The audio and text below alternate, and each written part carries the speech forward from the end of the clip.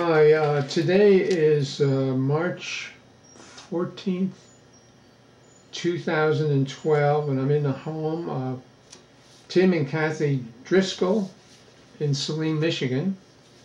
And I'm Bill Villano. I'm the coordinator for the Veterans History Project uh, that's uh, sponsored by the Ypsilanti Rotary and um, is part of the uh, Library of Congress uh, Veterans History Project. So uh, let, let's start. Now, uh, you and I know each other a couple of different ways, uh, Tim. So, um, you know, we're you're in the VVA and I'm an auxiliary member of the VVA. Um, and uh, we've been trying to get together and we're together today. What I want to know from you is um, um, you're you're not a Michiganian or Michigander or whatever we That's call it. that's correct. right? Yes, Huh? You're an Easterner. I was uh, born in, in, a, in a little island just outside of New York, Staten Island, That's not so little. Yes, You know? I know it well. and uh, uh, my uh, grandparents and everybody uh, came over from uh, Ireland, Uh-huh. and they settled in New York City. And uh, during the Depression, they had it before the Depression, they had about 13 or 14 apartment bu- buildings. Oh yeah. So they came very far in a very short way. They were very hardworking people. Um, my uh, uh, my young education was was uh, in uh, the Bronx, New York, uh huh. and then later on uh, we moved over to uh, Brooklyn to PS 200 over there, and then later on we moved over to uh, Newark, New Jersey. And all of these places have a lot of Irish people. You see, Mhm. like Irish people like to be around Irish people. I don't know why that works. but That's true with every ethnic group, especially at that time. It's probably the food. Yeah. Yeah, and um, uh, you know, uh, we were all taught. Everybody in school back then was was taught uh, the golden rule and to, you know, to be a hardworking person and, and to emulate your uh, elders and. Mhm. Uh, uh, try and do the right thing with each other and everybody. And I really believe we did a really good job at that because we were told and made to do those things. And it was a pleasure Yeah. because we we actually appreciated each other. Mm-hmm. The respect was always there, and and if the respect wasn't there, well, you know that might lead to a punch in the nose too. So but Mm-hmm. from your parents. from your you know you had to behave yourself. There will be punishment, you Yeah. know. Don't come home and complain about the teacher. No, no, no, no, no, no, no. And uh, and uh, the schools in the cities were, were very strict, hmm very very strict, And very good. and very good, and you really truly had to learn your, your lessons. I mean, you there was no such you couldn't imagine not doing your homework. hmm I couldn't imagine that. You- There'd be so much trouble. Um, in um, Brooklyn, uh, every Friday we had to wear suits and a red tie, and we had to go to uh, the assembly, and we would have class flags and class standings, and uh, we were all, uh, you know, your your class ranking, as it were, was all processed through your grades. Mm. So if you were the top class or you were the, you know, you were the first or second or something like that, it's a very, very big deal. Social studies was very, very big. Uh, every day we had to read the local papers and uh, find a, uh, a particular story in there, and then we had to write about it. And it couldn't be copying down anything. It had to be your story and how you saw it and what you thought of it. And uh, it was a big deal. Your, your, Yeah. your grades would be, uh, you know, accordingly uh, written down. So that was, uh, and it was an awful lot of fun to grow up in, over in New York and, Yeah. and uh, in the in these cities of uh, of uh, Newark and what have you over in New Jersey. Um, we moved around a lot. I went to approximately 23 or 24 grammar schools. See, I think you beat me. Um, I must have gone to at least 10 schools before I got out of high school. See? when And some I, of them twice. um, I used to tease my father as an adult, I did. I used to say, gee, couldn't we pay the bills? My dad was a cook, uh huh. and he had been a cook in the army. Oh, yeah? And so he would go from good job to good job to not so good job to need another good job, you know. Oh, and it and it moved us around uh, an awful lot. Um, uh, somewhere along the line, he he really had started to drink also too much, hmm and I, I know that sounds pretty terrible. It was, and it didn't make things any easier on top of everything. But eventually, he got very sick because of that. And sure enough, out of God's grace, uh, a priest come to uh, see him in the hospital. His liver was passing away and what Mhm. have you. And they got to talk, and they got to talk about AA, Alcoholics Anonymous. And my father took to the priest, and he took to the program, and he got about 35 years of sobriety out of that. Fantastic. And that's why I'm telling the story because there is a positive. Mm. Also, because of that, I got to go to a lot of AA meetings, and they also have a youth group, uh, Al Anon, Al-Anon, oh yes. uh, which was also magnificent. So there I am with my peers, and I'm learning life's lessons, and there are doctors, lawyers, and Indian chiefs, and congressmen, and everything else are going Mhm. to this meeting. So it was pretty wonderful life lessons to be learned there, you know, and and um, uh, you take it to heart if, if, if you're if you're blessed with uh, enough of an open mind and what have you. Take it to heart and just try and make it part of your uh, your life and, and, and know not to do this and not to do that Mm, and, yeah. and and look what everybody did in spite of. You, you know, later on things got to be horrible, not with my dad and what have you, but um, early '60s and then on from on, uh, young people started to get involved with drugs. Yeah. And to have somebody who, had a substance problem with drugs and alcohol was just a horrible, horrible double terror. hmm You know, Did it was, many of the kids in your neighborhood uh, have problems? no, no, no. I was very, very blessed with that. We were like the generation just before Just before. it got horrible. Yeah. we were we were you know because when I was in high school it was you know like 1959 we were still children of the 50s you know we Mhm. weren't that 65 or whatever and so when we got uh, you know old enough to get out of school which was 61 62 63 right in there uh, within a year or two you were either in college Yeah.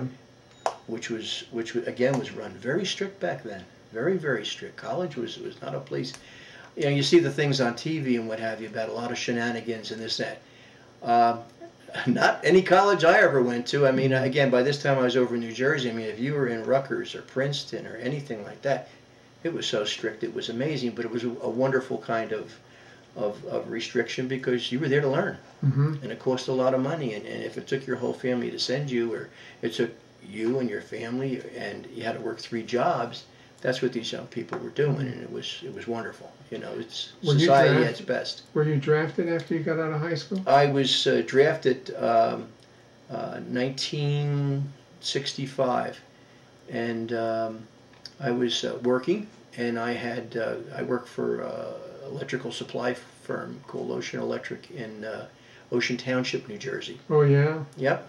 And Yeah, right outside Asbury Park. And um, I come home from lunch, and there was this big envelope sticking out of my mother's. And you know, we're all watching the dates. You know, we're, we're, I, you know, you're single. You're not in college. You're of good health. You've already been down to the draft board and signed all your paperwork up. You've already had your physical. You're good to go. You're healthy. Now you're waiting for the date. And there was this big envelope, and I said, "Oh no, that's it." And it was. So then you have two, three, four weeks, whatever it is, to get ready hmm and get everything in order.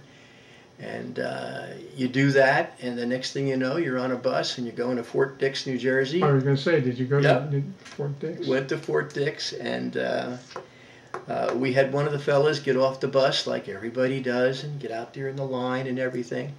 And as soon as they turned us loose and they went inside that old wooden building, those two-story wooden buildings with uh, no sheetrock in them and, and, and no insulation and barely light bulbs and everything, this young fellow went in the front door and he went out the back door and we never saw him again and we don't know who he is.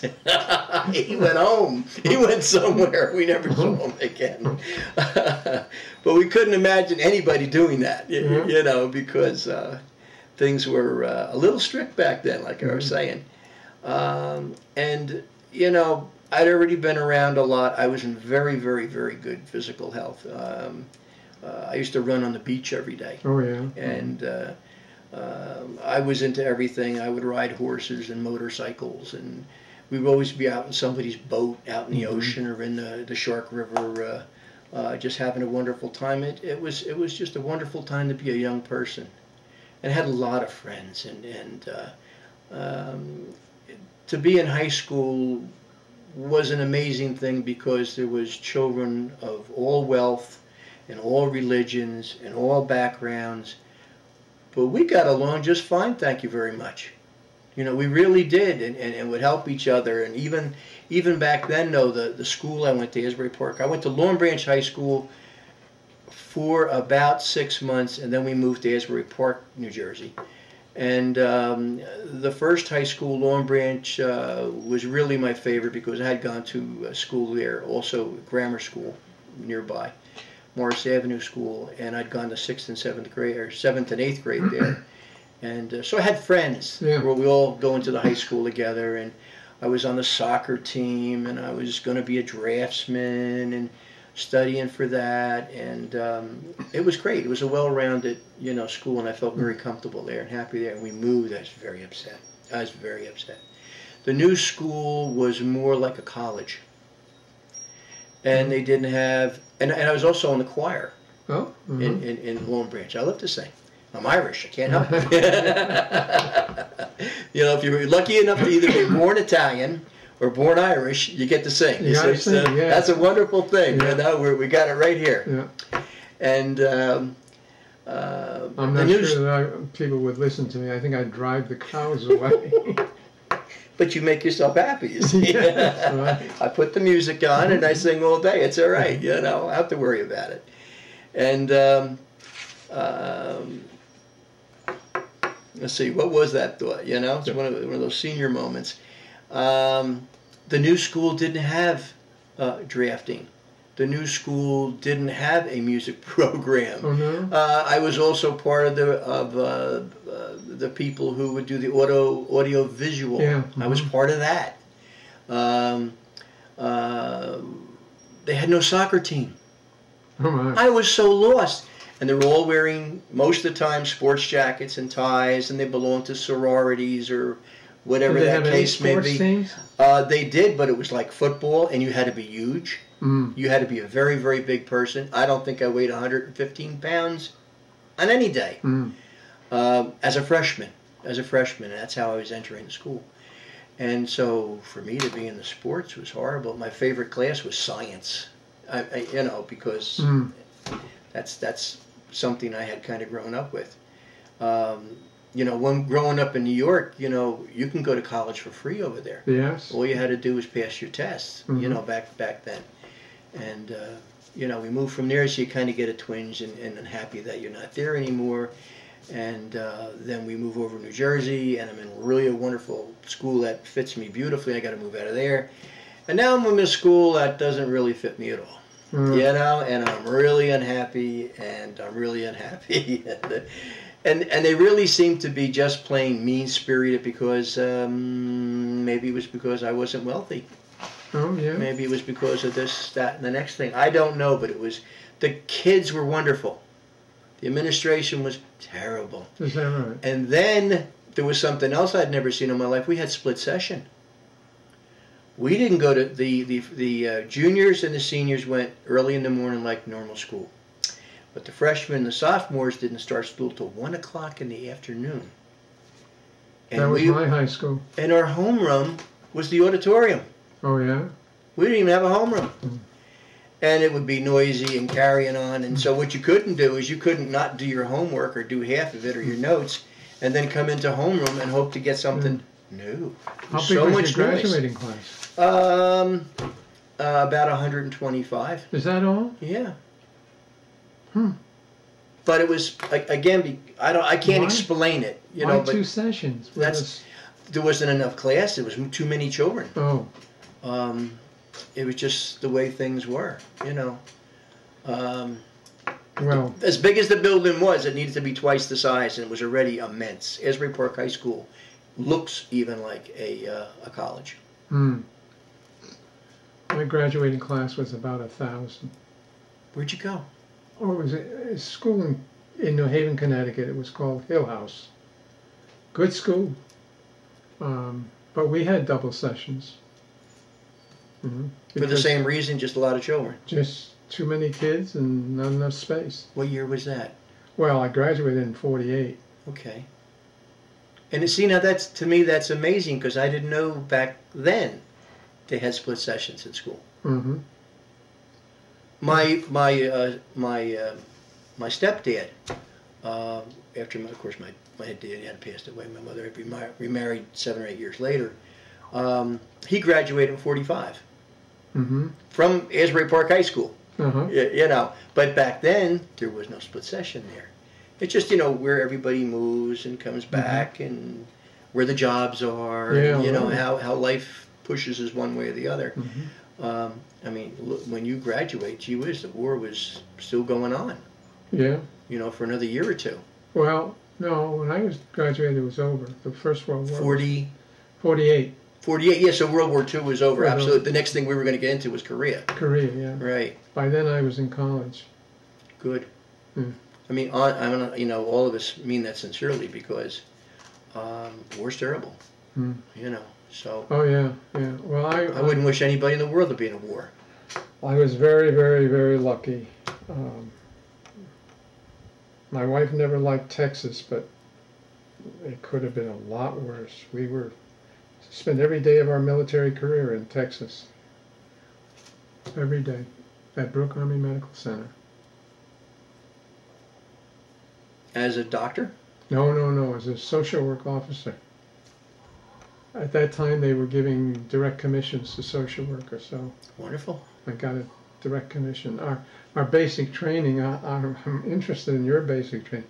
Ours was four weeks of mostly lectures. I mean, it was pathetic.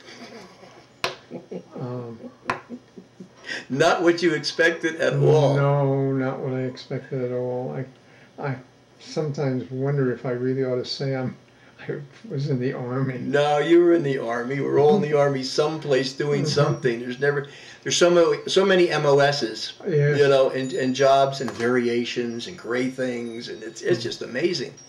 Um, um, far as being in, in, in Fort Dix down there, the buildings were left over from World War II, Uh-huh. and they were hideous. They were falling apart, and Yeah. literally falling apart. I And have some um, pictures of the World War Two World barracks. War One World War One barracks, yeah. barracks, yeah, at Fort Dix. Yep. They didn't change a bit. No. I'm saying World War Two. I'm sure they're from World War One. I. just never grasped that. Yeah. You know, you look at the old pictures and yeah, that, that looks like my building. You know, and um, you know with the butt cans on the on the on the the posts and and the um, the iron beds with the mattresses and Mhm. those horrible looking mattress things that looked like a mattress but weren't.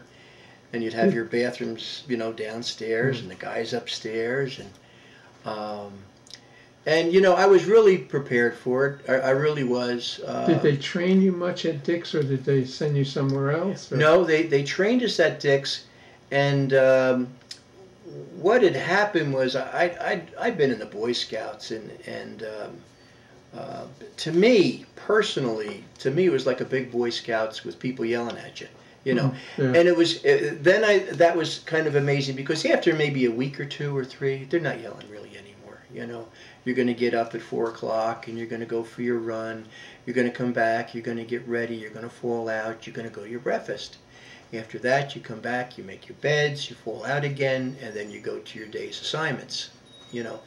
Uh, which could be anything because we're now going to go to war. See, we're going to go to war and we're going to go to Vietnam. This is what we were told. We're all going to Vietnam. We're all Mhm. going to get shot at.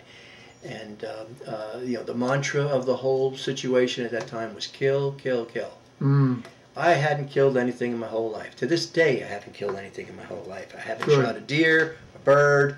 I'm sorry. That's not my idea of, of who I am. I'm not against it. I'll do what I have to do. Why would you do that? You know, it's unless you're going to eat it and you must and whatever. You know, Mhm.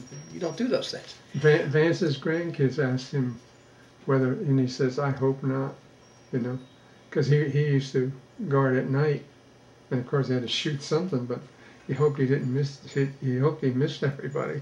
Eh, You know, Hmm. we didn't even want to be there. Right. They didn't want us there. It was it was a, a double like all wars. You know. On the other hand, uh, your country has a reason for you being Sure. there, and and, and and the greater greater picture you never really see or know for sure. Uh, but because it is your flag, it is your country, it is your fellow uh, countrymen, you, you will protect each other and you will move forward. And someone blows that whistle, you'll do your job because that's what you were trained to do.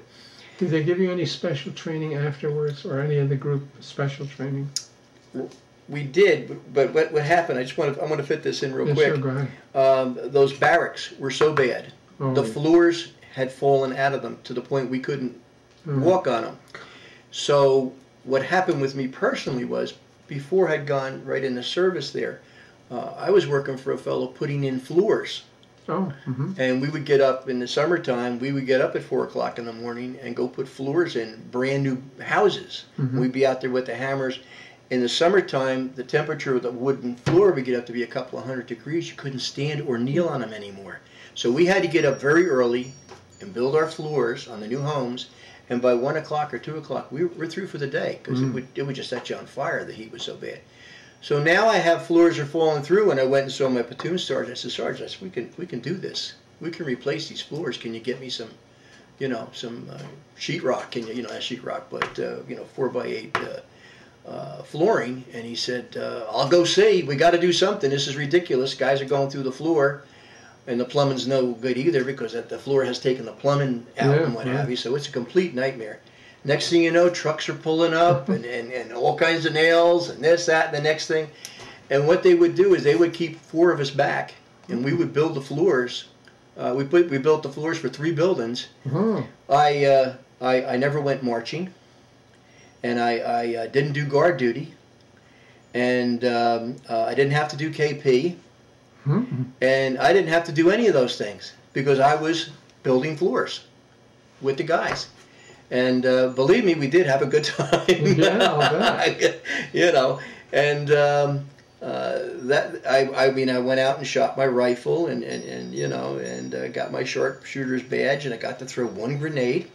And that was the first time you learned that when you throw the grenade, you can't throw it far enough, because when you duck down in that hole after you've thrown it, all that stuff is coming back at you. And I said, my God, the poor guys in Moore, you know, on, on you know Iwo Jima or wherever it was, where any of these guys who threw that thing, if you had to stand up and you had no cover to get to, you're automatically going to get wounded mm. from the shrapnel from your own Yeah. grenade. yeah, right. So that really wakes you up, you know. Uh, then they had you run through the course where they have the machine guns firing over your head and whatever the case may be. It didn't scare me and it didn't bother me. And three times I had led my group all the way through that to where you're supposed to go down the other end, which is maybe five or six hundred feet. They sent me back three times to do it over and over because I was finishing too fast Oh, oh, they're blowing up these pots of this and that, and the dirt's flying, and, and I'm down the other end. Go back. I'm down the other end. Go back. If you do it one more time, I'll put you in the brig. Just go Mm. back, hang out there, get blown up, and come up with the rest of the guys. well, you know that was the I had no fear of it, you that know. was the one part of the training they gave us that was uh, difficult um, because they did it at a daytime and then we had to do it at night. Uh, and it was in Texas, which is full of snakes. And they kept saying to us, look, we can cure snake bite. We can't cure a 30 caliber machine gun fire. So stay down. Stay down, please Yeah. stay down. That's what they kept saying. And I wasn't running. I was just good at you Yeah. know, moving moving through the mm-hmm. obstacles. That's all.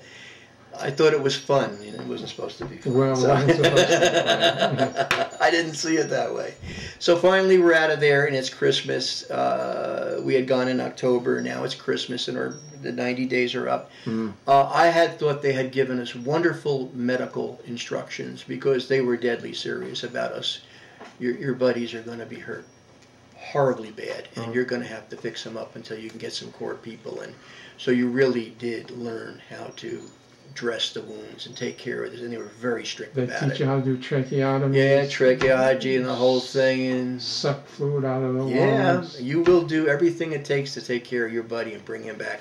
And they said, you know, the thing is, even yourself, if you're wounded and he doesn't know how to take care of you, if you're awake, you better be able to tell him how to do it, or you might not make it back. And then you, you see the stories from Nam and the horrible things they went through, and, and anybody in any war. And, and uh, so many brave, brave, brave young men Mm. and women uh, just doing the most impossible things to help their, Mm. their, their friends get back home somehow, some way. We were prepared for emergent, you know, a, a disaster, and we had all sorts of lectures about how to do the tracheotomy and the lungs and everything else. And finally, one doctor, and and it was all non-medical people were required to take this. Then one doctor finally came and says, "quote Keep your damn hands off of them, keep them warm, and let you know, and let it be cut." Because I'm sure that uh, he was sure we were going to kill more people than we were going to save. But Yet, you know, uh, remember it- the test you had to take, all the tests, the battery of tests and everything to find out who you were going to be, as it were. Yeah. Mm-hmm. Went to sleep in one of them. Oh, you did. Oh yeah, it was just useless. What- You know, had the most stupid questions you ever heard in your life, and I said, you know, Mm. I really don't care about this. I'm Mm. going to sleep, and I did. Uh, it wasn't important anyhow, but you know, they say everything's important, but truly, truly was. Yeah. You know, did they give you any specialized training other than how to put floors in? Uh, when not not really, not there. I mean, other than the medical again, and, and, and taking care of mm-hmm. your, your weapon and how to fire it and mm-hmm. what have you. And, and and and yes, I could. You know, we'd already had to march here or had to march there. You know, so I didn't have to learn how to do that. Yeah. But I didn't have to go to any parades and and and when everybody graduated, I wasn't there. oh, was that right? Yeah, no, no, no. We were back in the barracks finishing mm-hmm. up for the next guys. Because you know, right at uh, after Christmas, there was going to be a new bunch of guys uh, in that barracks, and you know, back then we had no ladies. We had no ladies. I mean, Oh, mhm. there was ladies in the army, but they were in the WACs. we can pause this. So uh, uh, we eventually got got through with uh, everything that we did down there at Fort Dix, and it hadn't changed since World War II, and it hadn't changed Mhm. since World War World War One. It was still very hot in the summertime. I was there from October, December. Very blessed. If you were going to go to Fort Dix, New Jersey, that was the best Oh, time of the year to yeah, be there. You know, yeah. by the time it was starting to get cold, we left. One day we're out there uh, firing our weapons, and um, and it was pretty cold. It was in the 20s or whatever it was. Early in the morning, it was still it was still chilly, and uh, they kept bringing coffee out to us. They're bringing coffee out for the break, and you know, coffee's great, but it goes through you Yeah, right. and it doesn't stay with you and it doesn't energize you. And I talked to the sergeant. I'm always talking to the sergeant. I said, look, why don't you have them send us out soup in the big pots rather than coffee? Any kind of soup. Yeah. Whatever it is, it's going to be better than that coffee. You know, from then on, when we were out in the field, they brought soup out for us, and the guys loved it. Oh, great. You know, because we had our, our little tin cans, you know, and everything, and we just pour it in there, and, and it would make you feel good because the soup has got something in it, you know, it didn't taste bad.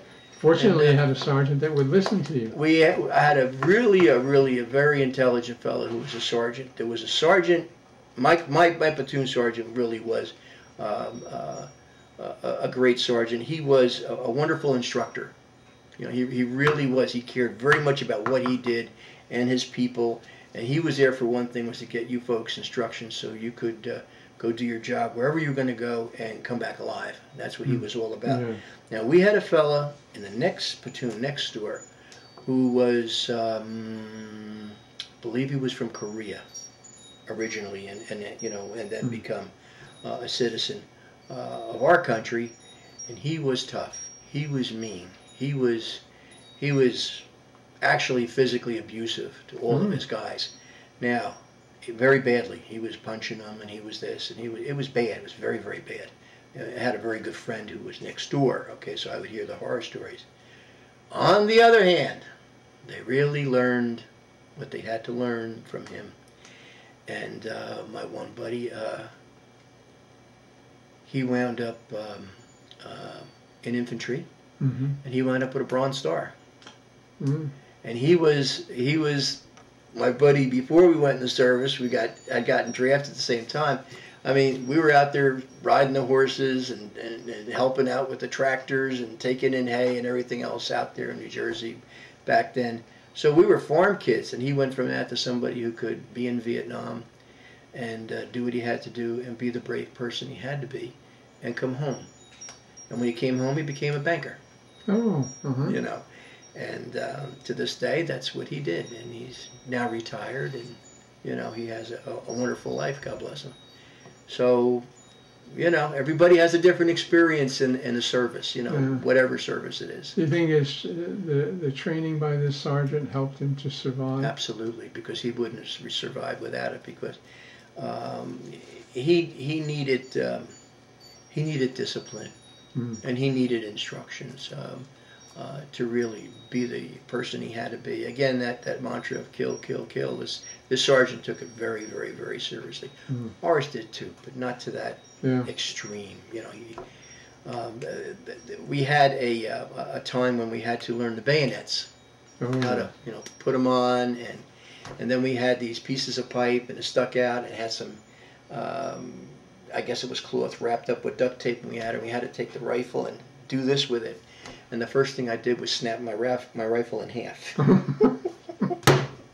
And the sergeant says Driscoll what am I going to do with you? Go get another weapon and explain to the armor what armor mm-hmm. the armor what you did to your country's weapon. I broke in half sir know so you know uh, it was just an old gun you know it was just an old gun and it had gone to do uh, to do its duty too many times and finally just fell apart Yeah. you know but um, uh, we didn't know where we were going to go. We went to training next. You became whoever you were that last day, you know, when you graduated, when you got your piece of paper and it said where you were going to go for training. And I really, really didn't want to be in infantry. I really didn't want to be in infantry. Uh, but when one of the things somebody had told me a couple of things. If you really want to go somewhere, every time they ask you a question, tell them that's where you want to go. That's where you want to go. For some reason, I just kept writing down Germany. I just did. Germany, Germany, Germany, Germany, Germany, Germany. And I never gave it another thought.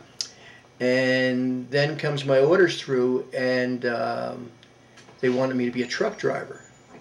Well, I can drive a truck, and that's one of the things you had to write down what you could do. I could drive a truck, you know.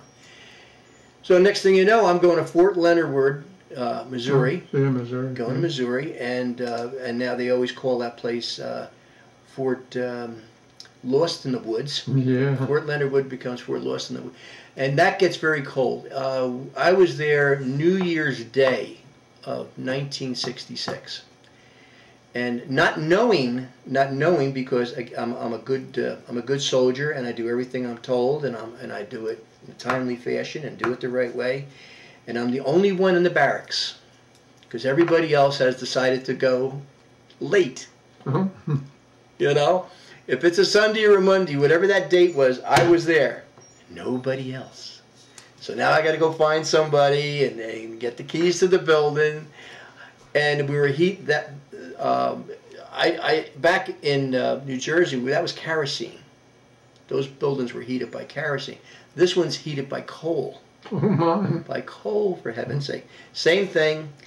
Uh, the floors were good, but there's no insulation in the walls. I can't imagine why. The same World War One, World War Two buildings, and they're heated by coal. Now the good thing is, I was raised in wood stoves, and I was raised with coal stoves, and I know how to bank a fire, and I know how to clean them out. I know how to keep them nice, and I can get the most out of that that boiler. Okay, and um, I became the fireman. Oh yeah. It got to be that winter. It got to be at one stretch for six or seven days. It was 35 degrees below zero, day and night. My. We couldn't shut off trucks or cars or generators or anything. They would freeze solid. And I had never been that cold in my life, and I don't think any of the guys had either. It was Mm. terrible. Um, and the, the the warmest I could keep the buildings was 55 degrees, and we thought that was wonderful. Um, if guys when after you're after you're they're in training for two or three weeks, they they give you start to give you passes to go if you're doing your job, and. Um, they would go home, you know, uh, Chicago maybe they would go to Chicago because that was three, four hours away, that type of thing, or somebody, you know, in Illinois or something close and uh, the guys would go home and, and get a lot, two or three guys in a car, and off they'd go. But the ones that had to stay back, like me from New York New Jersey, we had to stay there. Um, um, we were still too young to know that you could go get a motel room or a hotel room somewhere and spend your money because I had no bills anyhow. I'm in the service, you know, outside of sending money home to, to my mom. And um, uh, which is what I should have done. Okay, but not knowing there, we stayed in the building and we'd actually sleep between two mattresses. Oh. That's how we slept for the weekend until the guys came back, and then we'd put the mattresses back and what have you. Uh, and spend as much time out of the building as you could. So you went bowling if you could, and we stayed in the chow hall as long as we could. I'd even do dishes, pots and pans, if I could just stay there. Was it warmer there? Absolutely, because they were cooking food. You know? so, Yeah. and the cook was happy to have uh, uh, have have the help and have us there. And they were they were training. Their building was right next door to us, and we had the most wonderful food. This guy, this this chef we called him, you know, uh, he was a great cook. He cooked us wonderful meals. He, he, he shoe leather. He would turn it into a wonderful steak for you. You know, he was just a good cook. A lot of nice cakes and pies and whatever, and and uh, you know, uh, everybody just loved him. And um, uh, we went to first we went to Jeep training, and our Jeeps had been modified quite a bit from World War II. They now had independent suspension in the back of them. Oh yeah. And if you went over, we'll say a bump here and a bump there, uh, what would happen? Of course, this one would pick up first, and then this side would pick up, and, and it would stop. You know, where normally it would just react like this. Mm. Well, one would stay up and one would stay down. What they were really, these units, these were really for radios. For radio. The Jeeps were for radios over in Vietnam because they wanted, you know, everything is communication, safety Yeah. and communication, and you know, uh, where you're going to have an operation. They got to have everybody's on the radio somehow, forward observers, and you know, anybody who could hear something could do something. You know, could do something about a very bad situation at any time. So whether it was handheld or in the back of the jeeps or inside the tanks or up in the planes, whatever, it was all about communications, and that's what these were. So we had to learn how to run the radios. Okay, you thought you were just going to be a jeep driver. No, no, no. You're going to be a radio man. You're going to be a jeep driver. And then they moved us into the trucks. And when they moved us into the trucks, and we all thought again, we all thought it was fun. Okay, so we were happy to do this. It was it was no no big thing, and um, we didn't have to fire any weapons or anything. And we were then uh, assigned to the engineers of the post because that's an engineering post. And we used to go up into the mountains. Uh, they're very large hills. They're not really mountains. You know, they're very large hills. And uh, they were blowing up rocks up there, uh, you know, using DDT, uh, um, TNT rather TNT, yeah. and uh, they'd bore the holes in the rocks and fill them full of, uh, you know, whatever they were going to fill them with, and blow them up, and then all the rocks would come down. They'd crush them, and then he would throw them into our big dump trucks, and we'd go down the road, and they were building roads with them. Everybody's got good training. Everybody's fine. Um, um, it's it's what we did, and it's how we passed the time. You know, and in the weekends we just tried to stay warm. Uh, um, they tried to keep you out of the nearby towns. Uh, the nearby towns were really very, very, very rough. They really didn't like GIs Oh, I was gonna say why. um, because GIs just wanted to go there, get drunk, and get in trouble. Mm. And so they didn't want you there. So they said, don't go there, don't go there. So we didn't go there. You know, uh, I had a buddy, uh, uh, Mitch Bernardchuk, uh, was from uh, New Jersey's uh, capital, Trenton. He wanted to go see a movie real bad. Mitch, it's 35 below out there. You, you shouldn't. Nobody should go out there. Oh, I could wear my Class A uniform, my fancy hat. Well, that's good. You'd be really better off with your fatigues and your bunny hat, you know, over your ears, and uh, your big mittens, you know, they had given you to do our jobs every day and stuff, you know. By the way, you love to be in the trucks because the trucks had heaters, Mm. which you never turned off. You see, you didn't have to load the trucks. You had to just drive the trucks. You see, you're a taxi driver, you know. That was a good thing. And um, so we, we did the best we could, and uh, and and the guys and the uh, engineers were uh, really great to work with them. Uh, They were building bridges. They were building roads. They were. Uh, we learned how to take the wheels off the truck and replace them with uh, these. These are six-wheel drive vehicles. Yeah. We learned how to uh, brace them up with uh, actually pieces of logs, where we could get that thing to, in spite of the wheels or the tires might be missing, we could we could actually uh, make like a, a big brace out of it and just replace the tires and the wheels and still get where you had to go for a while. You know, for a while until that one wore out, you had to build another. one. Yeah, sure. So uh, a lot to it, an awful lot to it. Uh, we had the Air Force come down a few times, explaining to us that you know um, if you're going to have this truckload of men, this truckload of ammunition, this truckload of food, it really, really, really has got to get where it's going. You know, and that's again back to communications. You got to be able to tell them that you know.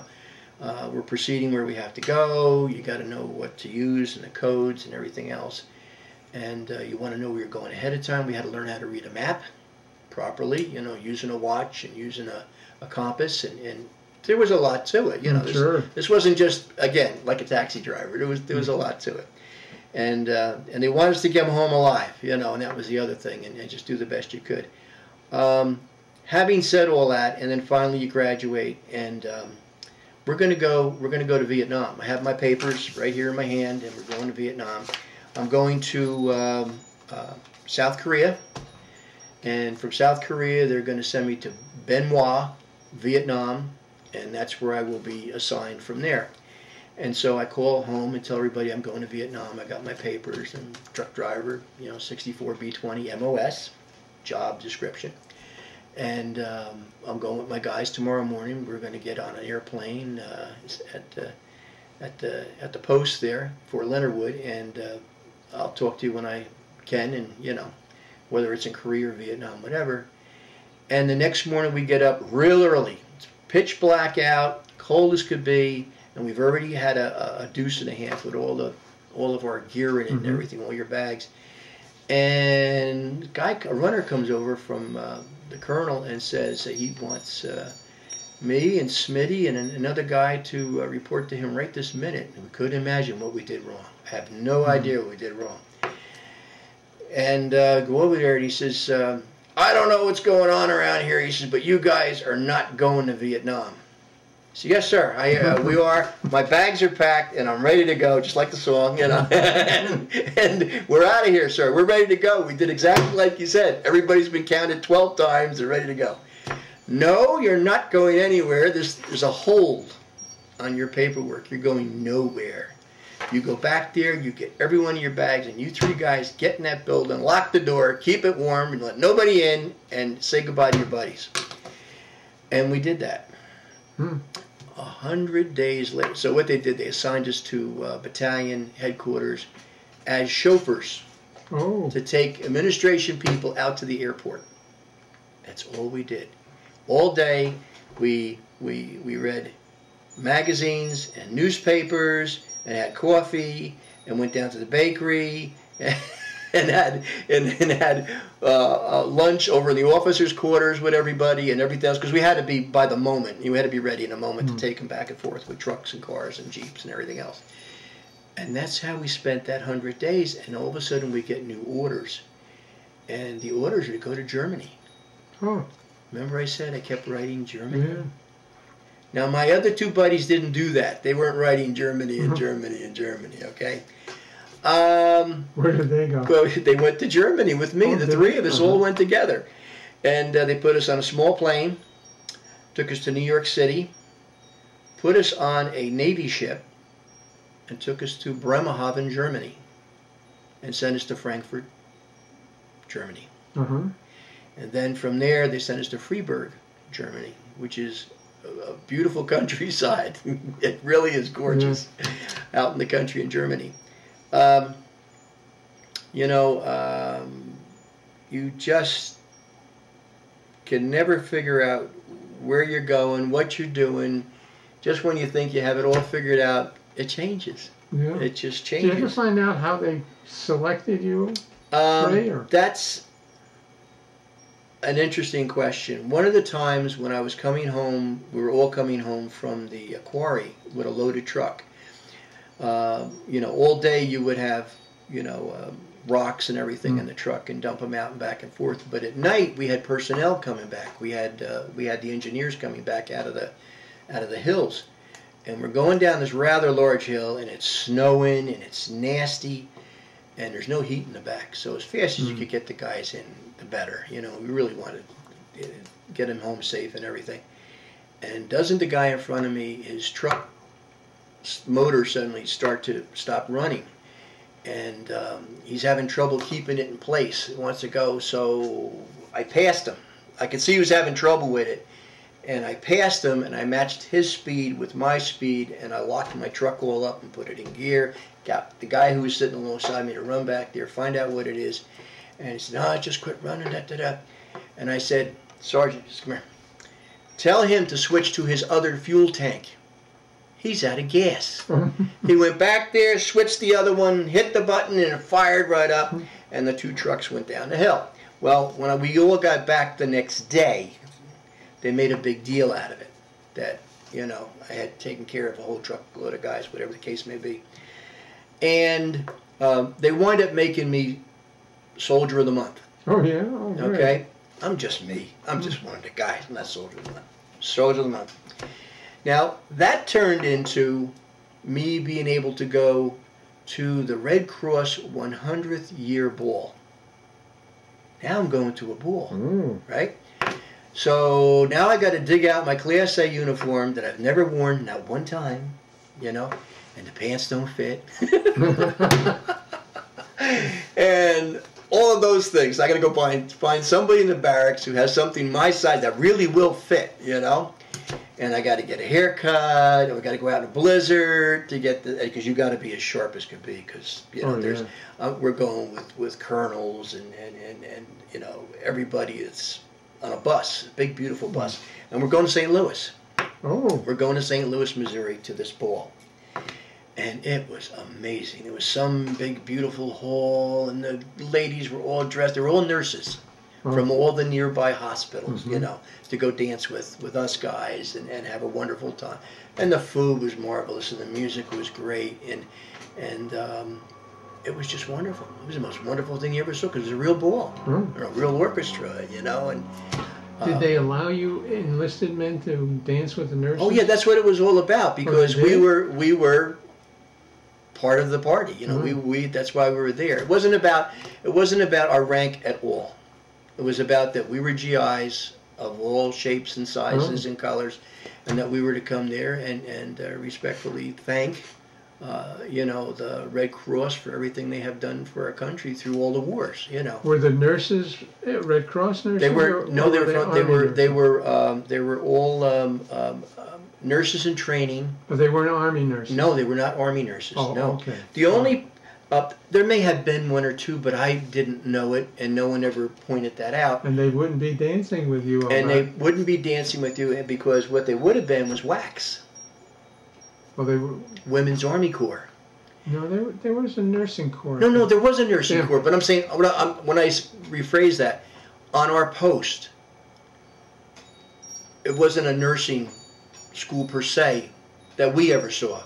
All we saw was a, a detachment right near us of WACs, and what was unusual about that had the highest poles you ever saw in your life, and it was all barbed wire, and Mhm. it was all lit up at night with big searchlights and everything else. And you were told to never go near that. and we didn't even know it was there after that because they told you don't do something.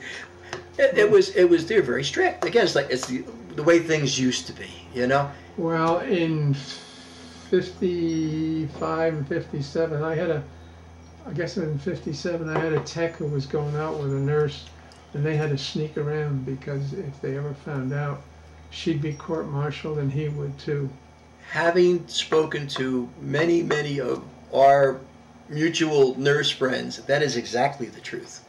They both That be in trouble. So stupid. you could get drummed right out. yeah. Yeah, after all that training and everything, Yeah. and you know, you could you could lose everything. It'd be it'd be a horrible thing to lose. You know, Sure. because we're you know it's part of our our training. It's who we are by then. You know, you're you're very very uh, passionate Yeah. about how far and what you've done. It's like anything else. You know, if you're lucky, you you understand it that way. Mm. And um, here I am, and uh, we're going to be truck drivers are telling us, and they put us on a beautiful, beautiful. Well, when we got out of, we got over there with the the um, the boat in Bremerhaven. Uh-huh. Um, they put us on a train that looked like the Orient Express. Oh, mhm. It was the most, and it's and it's a real steam engine. It's it's not a locomotive. It's not a, an electric one or something like back in New Jersey, or it's not a diesel. Mhm. It's just that they're firing coal in this thing. You know, it was fantastic, and it had those wonderful little petitions. You know, they were Yeah. all separate and everything. And we had one of those. They brought you the most wonderful meals. Mhm. And then people would come around and try and sell you some cigarettes, because back then everybody smoked, of course Absolutely. you know and they had candy and this and that and and um, uh, the trains all had like doilies all on the Mhm. back of them you Mhm. know for your head and it was amazing it was Mhm. just an amazing trip down to where we had to go and uh, we got to frankfurt and we spent a few days there and they said you guys are going to be in this outfit and they put us in a couple of jeeps and sent us about 30 miles away to where we were stationed and right off the bat they put us right into changing tires and doing this because you have to learn all this because this is what goes on every day there. And they would take us out on trips to go pick up this supply and that supply. And we're driving five ton trucks and half ton trucks and a deuce and a half and all kinds of different things. And that's our job. We're in the support platoon of the 3rd Armored Division Headquarters Company tank outfit. Third armored. Third Armored Division, Hmm. Seventh Armor, Seventh Armor, uh, Europe, Third Armored Division of the Seventh Armor, headquarters company, uh, Third Armored Division. So we have approximately 12 tanks. And there's a headquarters company, and then there's an A company, a B company, and a C company. So, you know, we've got f- almost 50 tanks. Mhm. So that's a lot of when when we get an alert, which would be once or twice a month, and we all have to roll out at whatever time, whenever that horn goes off, we're out the door, running down to whatever vehicle we're, we're assigned to. Uh, that vehicle is already. Uh, there's no ammunition in these tanks. The ammunition always stays. Um, unless there was a war alert, but that, that never happened. That never happened. It was always in the ammo dump, way Hmm. down the other end of the. And uh, same thing with the fuel dump. That was also way Hmm. down. God forbid somebody blew it up or caught Yeah. fire. It wasn't going to take the fort with it. The barracks we were in were the most beautiful barracks you ever saw in your life. Um, they were from World War II, maybe even a little bit newer. The floors were marble. Oh. They had big, wonderful windows that would fold out, you know, Mhm. and uh, you know we just crank it, huge things, you know, from the floor up.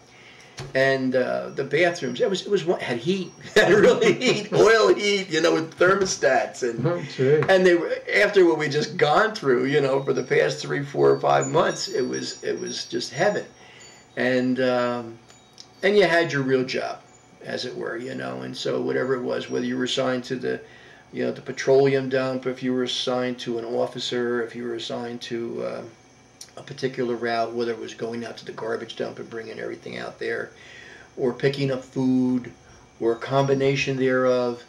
Um, you know, it was all these things I had to learn. And again, there was the use of the radio, uh, learning the maps again, working again with the Air Force because you had to learn a lot of things all over again because it was very serious. What we're doing is trying to protect the Fulda Gap. So if there was a war or the Russians decided to come across uh, any distance at all to really, you know, to start something or to be, um, uh, you know, just to be um, a little. Um, pain in the tush, I guess would be the right word, you know, uh, to the Americans and the Yeah. Germans and everybody, because they were always threatening to do a little something. Say, Mm. never mind to start a whole nuclear war. The trouble was, if they did it, it was going to turn into a nuclear war. It wasn't going to turn into a tank battle, and it wasn't going to worry about any of this other stuff. Somebody was going to push a button. Somebody else was going to push a button, and then there was not going to be any somebodies. Yeah. And we didn't think about that because we weren't going to think about that because that was unthinkable. Mm. We already had people taking care of that business, but it was terrible. It was terrible on, on the people who, who lived in that country and lived in Russia and lived in the rest of the world. Nobody wanted a nuclear war. Nobody. There's no winners in, in that, that horrible, horrible thought. Um, but um, we got to move around in your unit. Eventually, everything kind of shakes out. Who's a better this or who's a Mhm. better that, and what have you. And pretty soon, um, they would try you with the ammo, where we would go out. Uh, if there was a, um, we'd go for training about three, every other three months, uh, out to a place uh, either called uh, Wildflecken uh, or um, um, Grafenwehr, which is still a post, an army post to this day. Matter of fact, some of our, uh, one of our Vietnam guys, uh, his uh, daughter's husband is in the service, and they're stationed over Oh, there yeah. in Grafenwehr in Germany. And what that is, is, is Rommel from World War II, the Desert Fox, his training area. That's where he trained all of his people uh, in tank outfits to go all over the world and take over the world. Mhm. Was was that? So we're using his training area, and it was the most amazing thing you ever saw because they had huge underground bunkers to store the ammunition and to store people and hospitals and all kinds of things, all underground and all this. It, it's it, I, f- I forget how big is it, how many square miles this thing is, but it's, Mm. maybe it's 50 miles square or something Wow. just for the tanks to be trained in in, in warfare, you know. Uh, and it's most it's all dirt and sand, and you know if it wasn't, pretty soon it will be because that's Yeah. what the tanks will turn it into is is at. And um, uh, there's hospitals out there, and there's you know uh, it's it's a huge huge post. But where you're staying because you're in training, you're going to be uh, staying in tents or little one-story buildings, you know, and Mm. and um, they still have oil heat, thank God. Though they are warm, the buildings are warm. But if you're out there in your tent, or you're out there and it's raining in the wintertime, which happens, and we get snowed Yeah. on, and this, that, and the next thing. So we got a lot of training, and all the training was for one thing was to stop them at the at the uh, Fulda Gap in case it didn't go nuclear. Mm. We had to try and stop them there, and of course, you know, their Air Force would come, our Air Force would come, and on and on Mm. That must have been, And it didn't happen. yeah, must have been pretty uh, tense, though. No. you, you had to think about it because that's part of your training. You have to you have to be sharp. So you had to be sharp about your training. Um, and and like everything else they taught you, you have to watch out for your buddies. Yeah. That they're not going to get hurt or they're not going to hurt you because they're not thinking about something. Yeah. Probably the hardest part of of anybody being in any war or, or being away like that is home Mm-hmm. Yeah. because there's things happening at home that you can't fix. Right. And one of the first things they try and teach you when you go in the army specifically is, and you're a young man, don't get married while you're in the service. Unless you're going to make a career out of it and, and five, six, seven, eight, nine years down the road, you found somebody you just like to be with and, you know, and, and they will understand that, you know, army life or something's going to be rough because they're going to be alone a lot. Mm-hmm. You know, they're not going to be with you. You're going to be stationed probably Mm. different countries and what have you. And it is. It's very, very, very hard. And, uh, you know, the ones who got a letter from home all the time, Lou's mom did or whatever, that was Mm. terrific. Mhm. That was terrific. But then you'd have people who didn't get any letters from Mm. home. And, um, or there would be a problem at home and they couldn't fix it, you know or somebody was not treating somebody properly, and the next thing you know, they're getting divorced or something like that. Yeah. And it was just heartbreaking because what affects them affects you, and Sure. if they're upset, you're upset, and gee, that could happen to me. And they would then Mm. have to get maybe on a plane and go home, or mom or dad or somebody would pass away or be in a horrible accident. And now they got to get on a plane. if it, you yeah. can, you know, you go down see the Red Cross. You do all you can because you're always able. If the, if the sergeant or whatever says, "I'm Mm. sorry, I can't spare you," da, da, da, da, all you have to really do is go down see the Red Cross. They Yeah. will they will make it happen. They will get a hold of generals and colonels and majors and make that happen. You know, the plane will be. Back then, we could run military air transport, Yeah. Right. and and they would just. Here's your orders. You're gone. You didn't have to worry about paying for a plane Mm. or anything like that. Uh, were, I, I, Nowadays, it's not like that. yeah. I'm know. assuming you weren't married at the time. No, no, no. How no. long were you in Germany? Uh, I was there for, um, let me see, I was there, um, seventeen months. oh. Uh-huh. Seventeen months, long time. It is to me, it's a long time. You know. hmm Um, What was your uh, What was your draft at that time? Was it two years or three? two years. Two Two years. Mhm. when we went down to get our physicals, they had given us an option at that time, if you passed, Yeah. hmm if you passed your physical, that you could join the Marines um, for four years. You could join the Navy for three, Three years, years. Yeah. or just get drafted for two.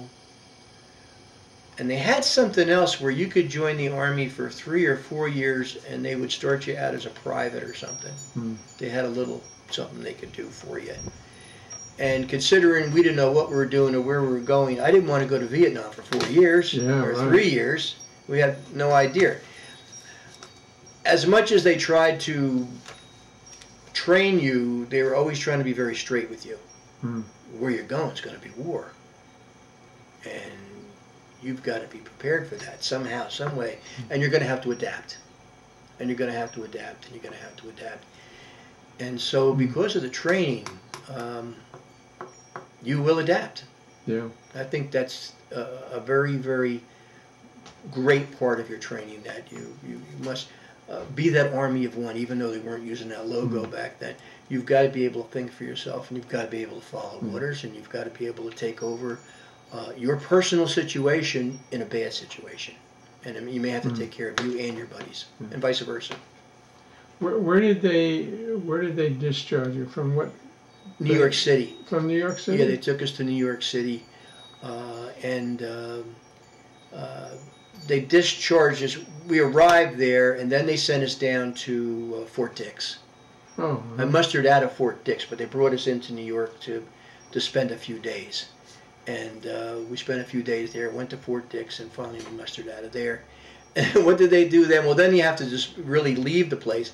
So I, I'm only, I'm only, I was living in Asbury Park at the time.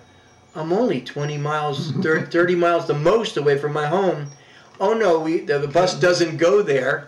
So I have to go to Newark, New Jersey, and it's pouring rain. And Mm. I'm thrilled to be home. I don't care. When I really got off the bus, it was funny. The plane that went from Germany to come home um, uh, was something like Hawaiian Airlines. Oh yeah. I mean, you know, and the, the hula girls were on it. What? Who knows where this plane came from? It was it was hysterical. And we go, and of course everybody kissed the ground. Glad to be home. You know, most of us have most of us haven't been home in a long time. Yeah. And um, uh, like most guys during uh, this whole thing, I'd gotten a Dear John letter. Oh yeah. In my case, it was a Dear Tim letter. But that was okay. She was in a Oh, family yeah. way, and I had nothing to do with it, you know. Were you going out with somebody at the time? Yeah, I wasn't.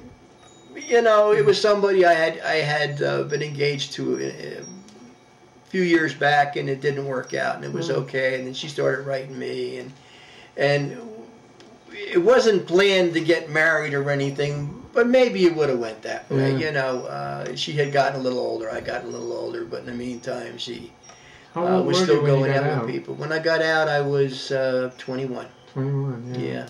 Mm. And uh, um, actually, let me see. I went in. I went in in 60, 65, and I was 20. So I was 22. Oh. uh-huh. I was 20. My birthday's in July, so that that kind of you know puts you between some stuff there. But um, so because I, I I really couldn't go get a drink. You know, because it was 21 back then. I mean, I, Yeah, I couldn't right. go off post. They wouldn't let you off post anyhow in Fort Dix. Wasn't it in New York? Wasn't it eighteen? 18, Yeah. yes. So, of course, we used to do that. and, um, you know, we used to go over to New York and, and have a few beers and, and, Mhm. and come back, and that was fine.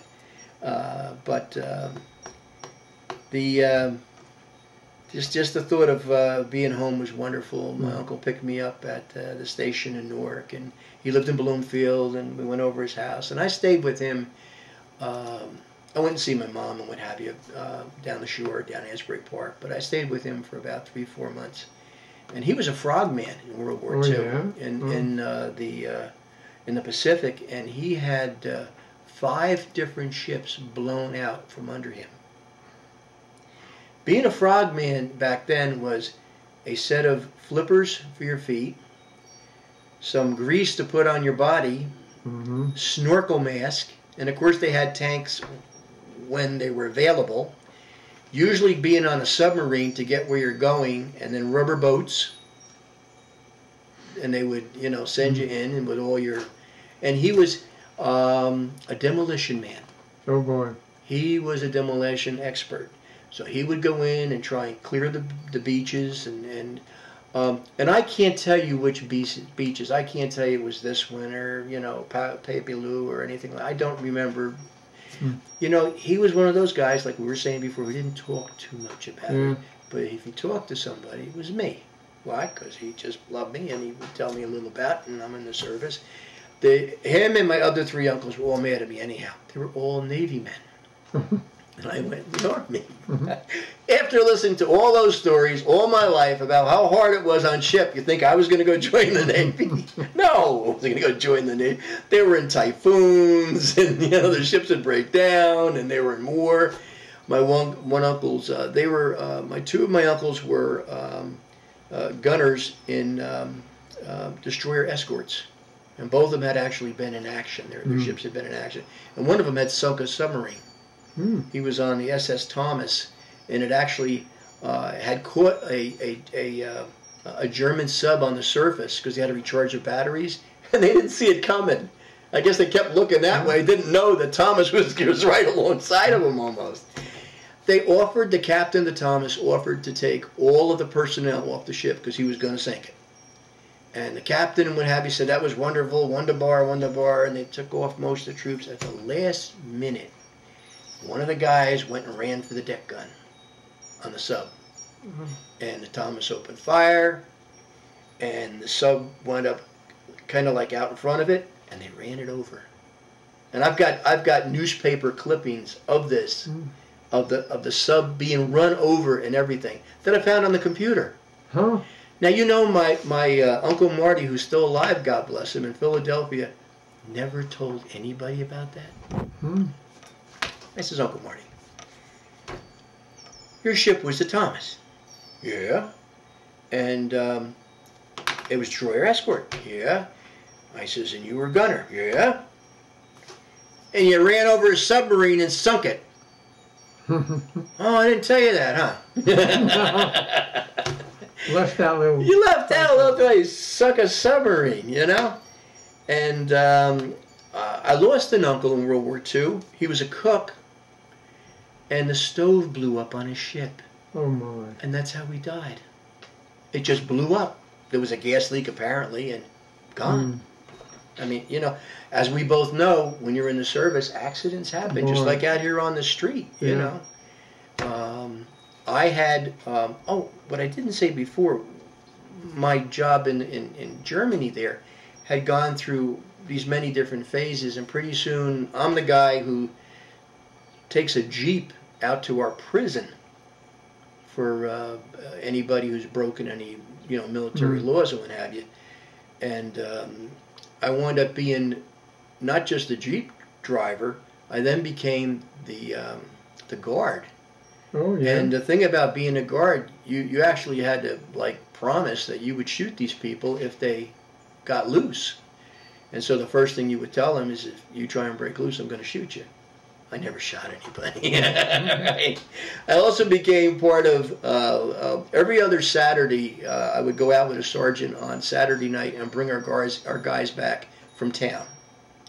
So there was no fist fights, and nobody wound up in jail downtown or Mhm. anything like that. And we'd bring them back alive, guys. I got to be part of that. Uh, I went with the colonel into Frankfurt, and we would go get all of our payroll. And uh, so I became part of that. I'd go to Frankfurt and get all of our mail. So there's five or six guys that rotate to do all these things, you know. Uh, I didn't pull too much guard duty again because I'm, I'm Hmm. doing other things. Um, we had uh, you know you talking before about uh, um, Vance, my, buddy over in Hmm. Vietnam who was a dog handler, uh, was one of them. And we are talking about dogs. I says, you know, we had a dog.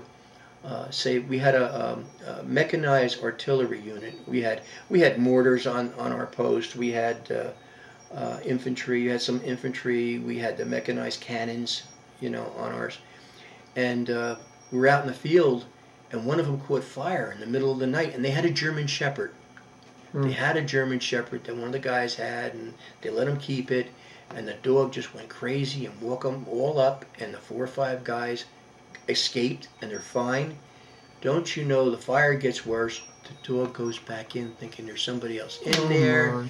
There's a small explosion. The dog dies inside the vehicle, and and the whole post, they, the, the the colonel of the post actually threw a military um, uh, assembly and honors Oh, for that dog. And I have I don't have pictures of the dog, but I do have pictures of the mechanized uh, piece of Oh, artillery great. all burned. Yeah. Um, so you know, it's, it's one of those things you, you, you go through as far as accidents happen and things Yeah. happen to you. Um, but I wind up uh, actually being in charge of uh, a, a com- what they call a command track, a 577. Now this this unit has it looks like a, a, a personnel carrier, except it's a big box. It's a big square box, and um, um, I should have brought my hat out because I have a picture of it. I have I have uh, little ones on my hat, and um, it's all radios in there. There's three radios in there. There's a generator on top, Hmm. and for the last year, that's all I did was take care of this. And every morning, I had to open up the net for all our 12 tanks and everything, and I'd open it up, and so we could all have communications, and everything had to come from me. So I had I had a secret clearance because we had to have you know that to, to get the messages out. And we went out in any kind of a, a, a movement or anything or out in training, uh, everything had to go through our track, you know, had to go through Mm. our office as it were. And we had teleprompters in there and stuff. Anything that we brought in or had to come in and out, it had to go in and out of that track. The track had to be perfect, had to be the, the best shape of all. Matter of fact, we had a huge um, um, battalion um, uh, inspection, you know, of the vehicles. hmm Mine was the top one. It could have knocked me over with a feather. I mean, I really had worked very hard on this thing. And it's funny, because they gig you for everything that could be possibly Yeah. wrong with your car or truck or boat or plane or whatever you got, tank. And uh, I really thought I had this thing perfect. I thought it was a thousand percent ready to go and it was perfect. And the guy says, nope. He says, you got one thing wrong. I says, I can't imagine what it is. He says, you put the, um, um, the, um, the air cleaner uh, holder, that shroud that holds your air filter, it's on backwards. I had I put it on and it didn't it didn't have a snorkel on it, it was just round. But on on the front it says face forward, Mhm. like a Claymore mine. It says face forward. It, it was turned around. Mhm. But uh, I wanted to put the best vehicle on the post. hmm So, um, you know, it just winds up after a while. If you if somebody can count on you and they can count on you in your unit, in your in your barracks, in your platoon, whatever, things are just nicer. Mm. They are. They're just nicer and they treat everybody a little bit better, and you feel good about it because you know you're doing a good job. Colonel offered me when it was time for me to muster out um, ten thousand dollars Re up. for re-up money, uh, and he would send me to any Nike base in the United States that I wanted to go to, Wow. and I didn't take it. Kind of wish that, yeah.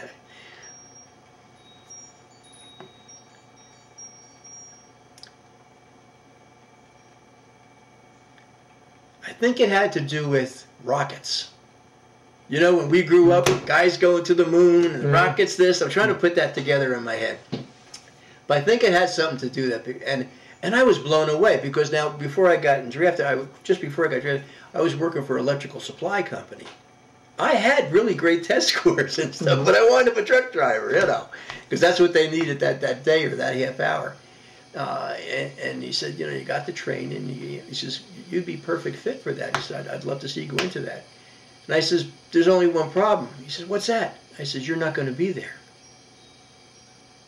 He was retiring. Oh, You're retired. I said, sir, I will go anywhere you go right now. I will sign that piece of paper. You go somewhere and I will go there. And, and, and I'll do anything you would like me to do. I'd be proud to follow you.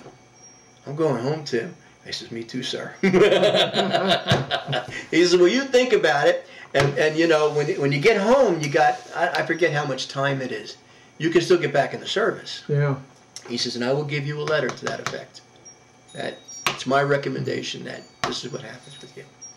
I didn't do it. Yeah. I didn't do it. What did you do when you got out of service? When I got out of the service, um, I had I had saved a lot of money. A lot of Hmm. 1960, you know, yes, right. seven money, um, and I had it in the bank. And I had no wardrobe. So I had go buy a new wardrobe. I didn't have a vehicle, so I, I bought a I bought a uh, a car, um, and the rest, of course, I kept in the bank. And then I wanted to get more education, so uh, we had a, a, wonderful tech school in town, Bloomfield, where my uncle was living, and and and they had radio and television there. Hmm. You know, to and I was I was really thinking I could start my own radio and television business. And so I went down there, saw those people, and said, "Yeah, we you know we do adults and everything else, and come on down." And so I did that. And um, it was funny because when I went in, it was all tubes. Oh yes. There were no transistors yet. Mm. There was none of that. Well, by the time I was finished, almost a year later, guess what? It's all transistors. Yeah. Now, and, and, and half transistors, be half and half, half tubes, mm. half transistors, whatever. The trouble with that is the new television sets, they're throwing them away. They can build them so cheap, yeah. and they have robots building them and everything else. Nobody takes the tubes down anymore. And now, what I'm doing after school, I work for a television um, uh, wholesaler. Mm. Um, not not of the television, pardon me, uh, parts. Mm. All of the transistors and all the tubes and everything else, and people come in and do this, and we we sell uh, all kinds of big picture tubes, and we sell them, install them, whatever. It was great. It was really great. You really were learning a trade. Well, guess what? The trade just went away. I know.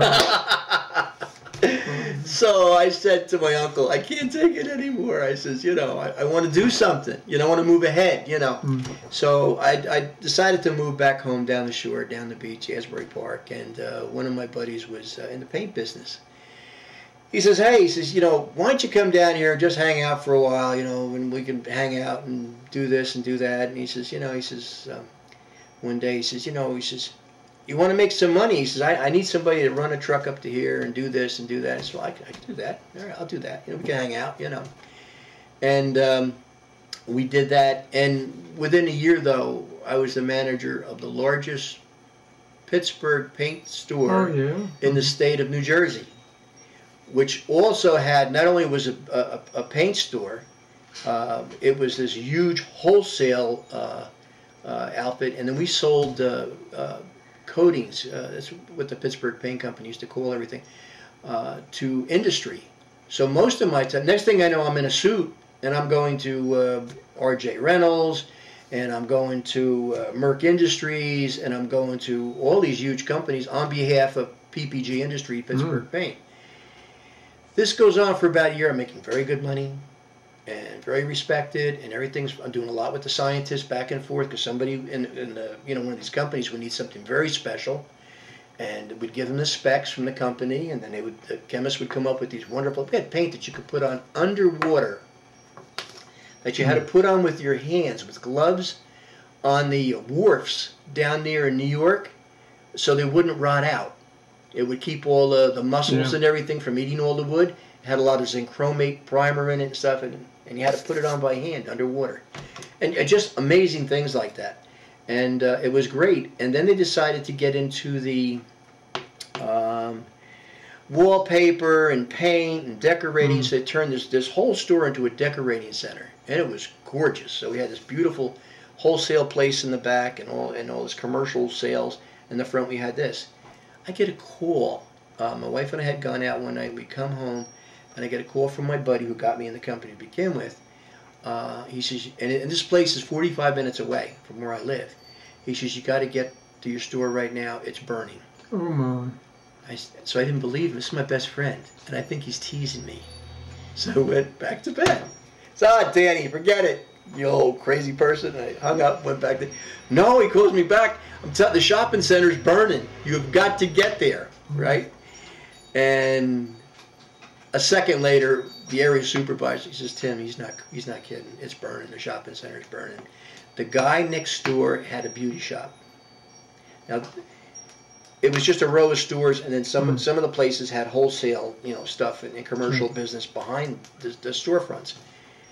Mine covers three stores, including his, but he had moved all of his supplies. This crazy guy to the front of his store, opened all the boxes, took all the lids off all this flammable stuff and at 3 o'clock, 2 o'clock in the morning, he came by with a firebomb and firebombed right through the front of his store.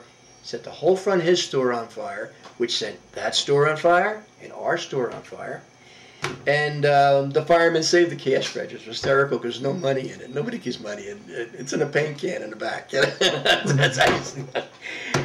Do you know, and the reason I'm telling you the story is we had the most wonderful fire marshal, and he would put up with nothing. That warehouse had to be 1,000% safe. He says, because if this shopping center area catches fire, I'll never put out all this paint Mm. and all this Varsol and all these supplies. I will never put it out. It'll just burn the whole shopping center to the ground. So I couldn't have any any paint stacked any higher than four tiers up, and we had to have uh, uh, the whole place had to be painted special and fireproof. This all the walls had to be sprayed with fireproof paint. And you know, when the in spite of the, the uh, all the wallpaper and everything catching fire up front, when the fire got to the warehouse, it came down all but about five or six feet from the ceiling. This is a 20 foot ceiling. And it never burned one can in that Mm. warehouse because of him. Him and me. Yeah. I mean, but him. Because this is the way he wanted it. And, and of course, our company, Pittsburgh Paint, only wanted it one way. And so Mhm. it worked out good. So that was it. And of course, I, I also met my wife that way. Reynolds and Reynolds uh, metal needed special paint. I went and saw them. I got the specs. They told me that where my wife works for the same company. Uh, I said, I know you people have those specs. Can I please have them? I said, I'll take you out to lunch. Didn't even know the gal. I'd seen her, I think, one time, but I didn't know her. And she said, Yeah, for lunch. We can go to lunch, no problem. So she calls me back. I can't meet you for lunch. Something came up. I says, I got to have those specs. I got to have them for tomorrow morning. I said, How about supper? And I used to live in Newark, which is next to Kearny, New Jersey, and I knew, you know, where her town was and what have you. Took her out for supper, got the specs, had a wonderful time, and didn't talk to her again for about four weeks because it was strictly business with me. I mean, I was a gentleman. We had a wonderful meal, but you know, I, it was nothing to do with anything else. She called me up. She says, "You got some nerve." Who says? and it's my wife, Kathleen, and you know, Irish people, you see. And um, she said, "You never called me back. Didn't we have a wonderful time?" And but I've been busy. I've been working. I don't want to hear it. She said, "You owe me a date." And a year and so many months down the road, we got married. I don't mean to cut this too That's short, it. but but tell me, how'd you get to Michigan? Oh, Michigan. Um, 9/11. Oh, 9/11. Um, we had moved. you've only been here since then. Yeah. Um, um, we had. Uh, um, we had gotten married and we had children and we had our first house and uh, in Bound Brook, New Jersey. And I was in the tire business. I wound up in the tire business after the paint business Uh-huh. because Pittsburgh Paint sold all their stores. Yeah. So uh, I wound up in the tire business, and one of my customers uh, had a tire company, a store. Would you come work for me? You took such good care of my wife, and on and on and on. Yeah, sure. So they sent me to they sent me to school for BF Goodrich Tire Company, and I learned all about tires.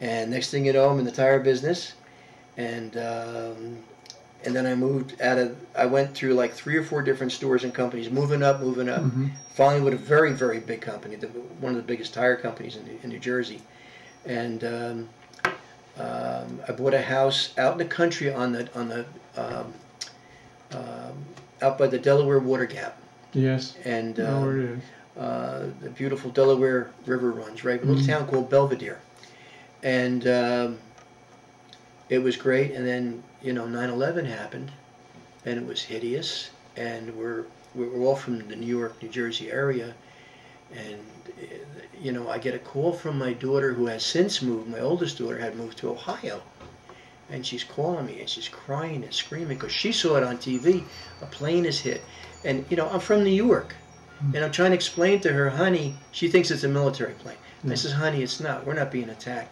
I says but something's really weird because they're not allowed to fly commercial planes Yeah. by the Empire State Building. Never mind the Trade Center; it's just not allowed. And guys would never do that. They're very professional. These are these are wonderful pilots up there. And and and she's crying, but it's hit, it's hit, and I'm thinking, what a horrible accident somebody's did. And all of a sudden, I, I, I, I go across the street to tell my buddy who happens to work for uh, uh, he's a colorizer for uh, Spider-Man and all the, that comic Yeah. uh, that comic group, and um, out of New York City. And UPS comes every day and he colors everything and they send it back and they put it in the comic books. And uh, and I'm saying, a plane's hit. He says, yeah, we're up, and and and and and, and, and he's getting dressed. His wife is in the kitchen, and I'm in his living room, and I see the other plane. But I don't know it's the other plane. I'm thinking it's they they redid the plane. Yeah. And then they panned over a little bit and you see the burning building. And you see the plane. And this one's already happened. That means this one's on its way. And then they both hit. Oh. And then our whole world changed. I mean, Yeah, it just it just hits you horribly right here. Mm-hmm. And, and, and, you know, it was unbelievable. My wife works in New York City in the Trade Center. Oh wow. My wife is in building number seven. She's already left for work for the train into New Yeah. York every day, which goes underneath The the trade the trade center, yeah. and she goes over to her building and she goes up. And um, that morning, the first, and I'm at this point, I'm working for a, um, a LabCorp. I'm working for a laboratory. Then I go around to all these uh, um, uh, hospitals and uh, uh, surgeons and stuff, and I pick up samples and bring them supplies, and and it's a job that is most of the time seven days a week, and I have to I have to be there. And she has taken my keys by mistake, and while she's waiting for the train to come, she realized she has my keys to open up hospitals and everything else. She's got to go home. She gets off the train uh, area, gets in the car. On the way home, she gets the phone call that the first plane has hit. And she gets home and she's all in tears and crying and falling apart. During the day, after the planes had hit, when the buildings start to come down, they ruptured um, all the gas lines, electrical lines to all of those buildings underground. Mm-hmm. Okay? Her building filled with gas and burned to the ground that day. She was never there. The story gets to be more intense. My son has two men in building number two. He's an electrical mechanical contractor. He has two men on the 35th floor of building number two when the plane hit. Except they're in the basement and they're getting supplies. Now we know that the fire was way Yeah. above that, but they're in the building when the plane hit it. All the lights went out in the basement. The red lights came on, the emergency lights.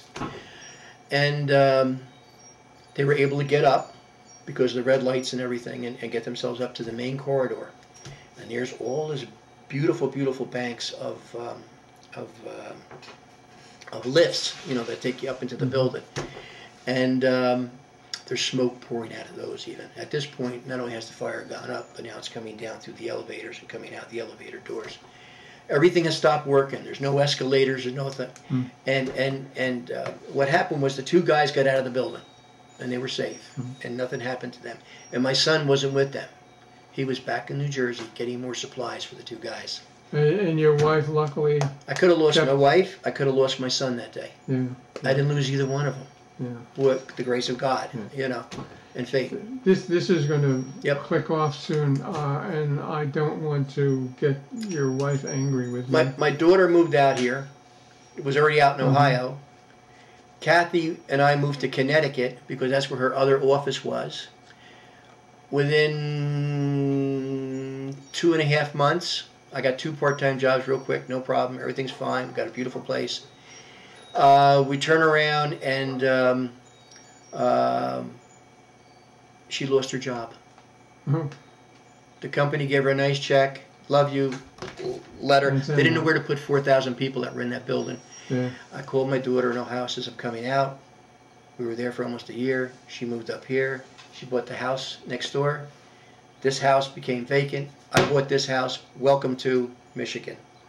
great. And then I got involved with all the veterans, and I haven't stopped yet. Yeah, yeah. You know, and that's Well, been that's you. been years ago. And I love what I do. Take care of the vets. I, I, I'm sorry we have to end this, and as I say, Kathy's going to be angry at one of us if you don't get going. I got to pick her up at four o'clock. Tim, A pleasure. You know care. that. Okay. God bless.